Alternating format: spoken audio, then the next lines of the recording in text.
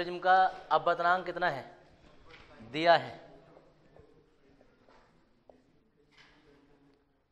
दिया है एन बराबर एक दशमलव पाँच। प्रिज्म कोण दिया है? ए बराबर पाँच डिग्री। वो विचलन कोण ज्ञात करवा रहा है और वो भी ना विचलन कोण के साथ वो देगा, न्यूनतम विचलन कोण ज्ञात कीजिए। तो एक नियम ये है कि अगर प्रिज्म कोण पाँच या पाँच डिग्री से कम होना तो साइन थीटा नहीं लगता, साइन के आगे आगे कोण लगते हैं। साइन थीटा बराबर थीटा, वो जो निकाली थी ना, विशेष स्थिति हमने तो उसमें निकाला था, हम कहेंगे, न्यूनतम विचलन की स्थिति में जब प्रिज्म कोण पाँच डिग्री से कम होता है, तब, देखो, तब डेल एम बराबर डेल एम बराबर जो है, वो N minus one into A आ जाता है। कितना आ जाएगा? एक दशमलव पाँच माइनस वन इंटू पाँच डिग्री। ज़ीरो दशमलव पाँच पाँच पंजे पच्चीस, इतना आ जाता है न्यूनतम विचलन कोण। अंतरांक चलो ठीक है, ये एक साथ साथ और उतार लेना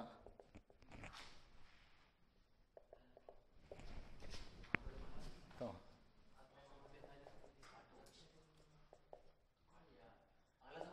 हाँ जी अगला हो गया।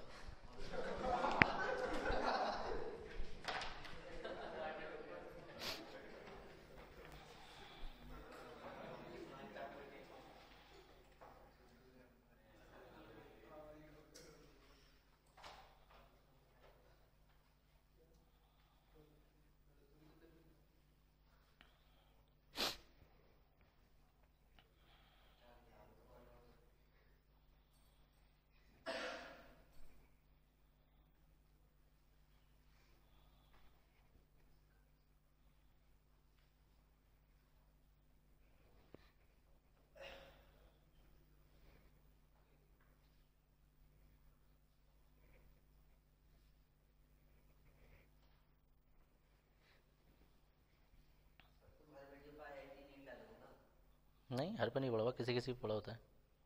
जब टाइम लिखने का होता है तो लिख देते हैं नहीं होता है काम करता है? हमारा तो काम कर रहा है।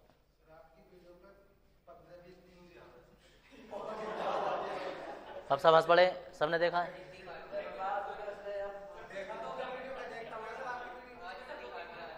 अरे एक बात सोचो, तुम वीडियो ऐसी देख रहे हो जिसमें जैसे कोई प्रिज्म के विचलन वाली है तो आम आदमी क्यों देखेंगे? ठीक है ना? कल मैंने वो डाली थी ह्यूमन आइज़ वाली। दो दिन में उस पर सत्तर व्यू हो गए। तो आगे खोल के देख लेते उसके व्यू कितने थे। तो बता क्यों देखें?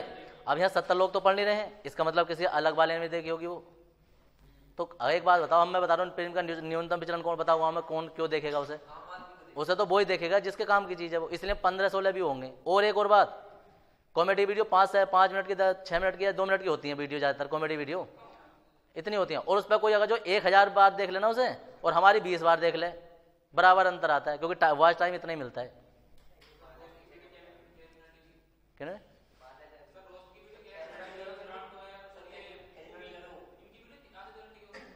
नहीं तो आधे घंटे तो अच्छी बात है ना उनके आधे घंटे की तो। वो उनके तो आधे घंटे की छोड़ो, अब तो वो वीडियो ना भी बनाना उनका तो काम चल गया। उनकी शुरू की देखो कैसी वीडियो हैं।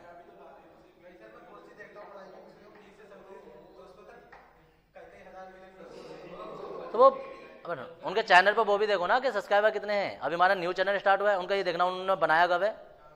समझ गए? तो अभी उनके पुराना चैनल होगा, उनके कई सारे पुरानी वीडियो पड़े भी होंगे।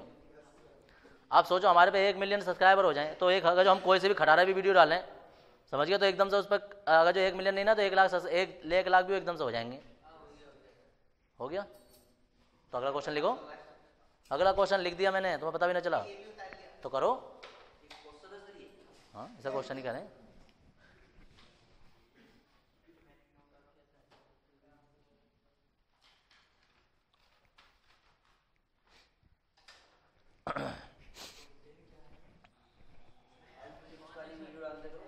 किस चीज़ अबे, अभी सारे टिब्बे ये उन आदमियों का काम है जो बिल्कुल खाली हैं। समझ रहा हूँ?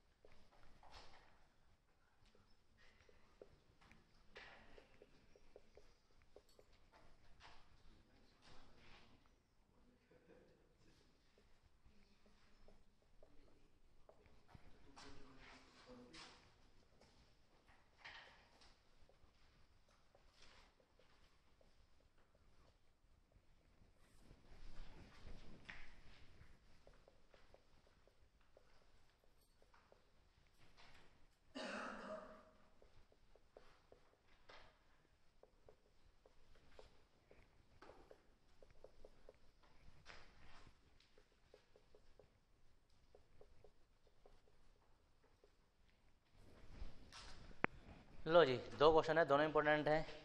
यदि किसी प्रिज्म को जल में डुबाया जाए तो सिद्ध कीजिए कि न्यूनतम विचलन कोण, वायु में न्यूनतम विचलन कोण का एक चौथाई रह जाता है।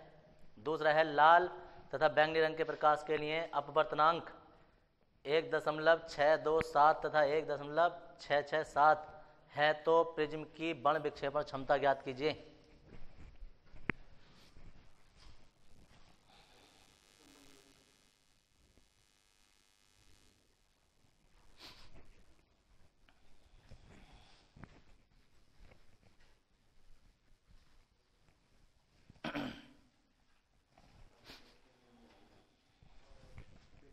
हो गया भाई?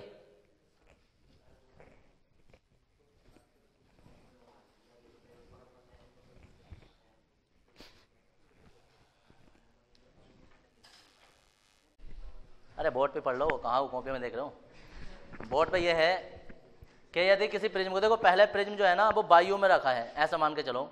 और वायु में उसका जो भी न्यूनतम विचलन कोण है, डेल एम। फिर उसके बाद उसे जल में डुबा दिया है, ठीक है ना?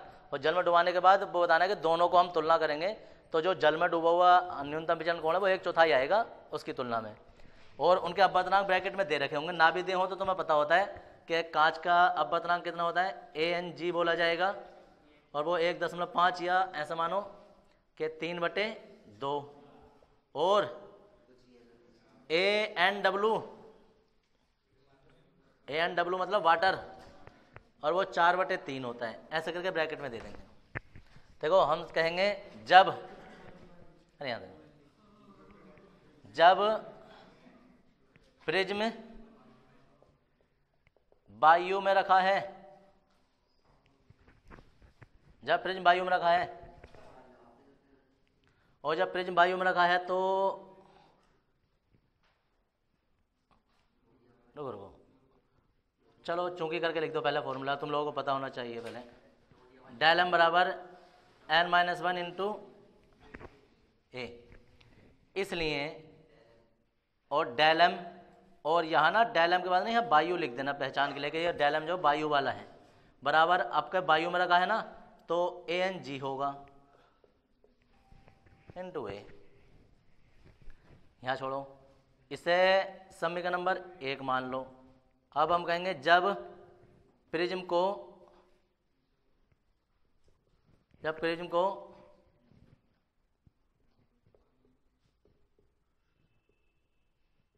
जल में डुबाया जाता है। अब जल में डुबा दो। तो जल में डुबा दिया हमने। अब जब जल में डुबाएँगे ना तो अब जो बतनांक लिया जाएगा, वो क्या? A N W W N G जल के सापेक्ष कांच का बतनांक बनेगा। माइनस वन इंटू ए और समय का नंबर दो। देखो हमें जल का निकालना है, क्योंकि इसकी तुलना करनी है। तो हम कहेंगे समीकरण दो को एक से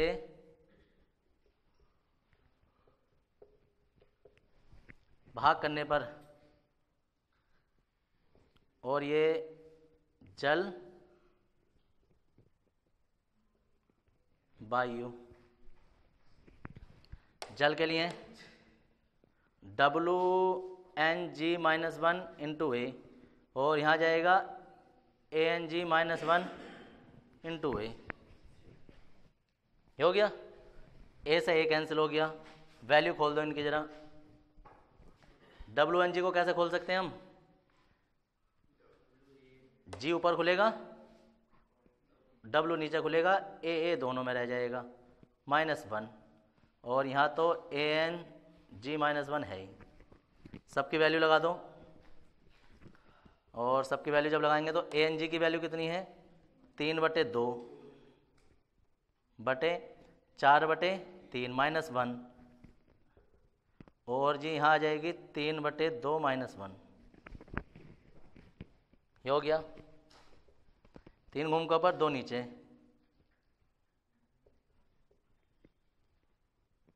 और जी यहाँ देखो, दो का ना दो। तीन में से दो जाएँगे, एक बटे दो। इसमें देखो, आठ का आठ, नौ में से आठ जाएँगे तो एक बटे आठ बटे एक बटे दो। दो घूम के ऊपर, आठ नीचे।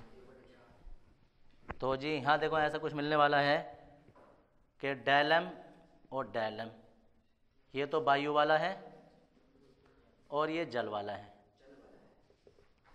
यहाँ आ जाएगा दो ऊपर और आठ नीचे। काट दो, एक बटे चार। तिरछी गुणा कर देंगे तो जो जल के अंदर डूबने पर जो न्यूनतम विचलन कोण था, वो एक चौथाई है किसका? वायु का। और यही हमें सिद्ध करना था। सेकंड क्वेश्चन की बात करो, और सेकंड क्वेश्चन में है कि इन्होंने उसके अपवर्तनांक दिए हैं। दिया है। अपवर्तनांक एक तो आर रेड कलर का। और एक है बैंगनी कलर का। रेड कलर का अपवर्तनांक एक दशमलव छः दो सात और एक दशमलव छः छः सात। अब बात आ जाती है कि इतना करने के बाद में आ, क्या पूछा उन्होंने? बण विक्षेपण क्षमता और बण विक्षेपण क्षमता ओमेगा होती है। हम कहेंगे ओमेगा बराबर N B minus N R. याद आ रहा है? और एन बाई माइनस वन। अब दिक्कत याद है कि यार बी के आर के मान तो हमारे पास हैं। बाई का येलो का मान नहीं पता है। तो जब नहीं पता होता है ना तो देखो, लाल रंग सबसे ऊपर होता है, बैंगनी रंग सबसे नीचे होता है। तो बीच में जो माना जाता है ना येलो कलर माना जाता है। यानी कि इन्हें जोड़ का आधा कर दो तो येलो का आ जाएगा। एग्ज़ाम में कभी कभी तो क्वेश्चन में दे देते हैं कि बैंगनी बैंगनी का इतना है, लाल का इतना है और पीले का इतना है। कभी कभी पीले का नहीं देंगे ना तो जोड़ का आधा कर दो तो पीले का ही बन जाएगा। लाल अभ्यतनांक लाल सबसे ऊपर रंग होता है और बैंगनी जो होता है, नीचे होता है ना तो पीला बीच में होता है तो दोनों जोड़ का आधा कर दो तो बैग इसका पीले रंग का बन जाएगा। हम कहेंगे कि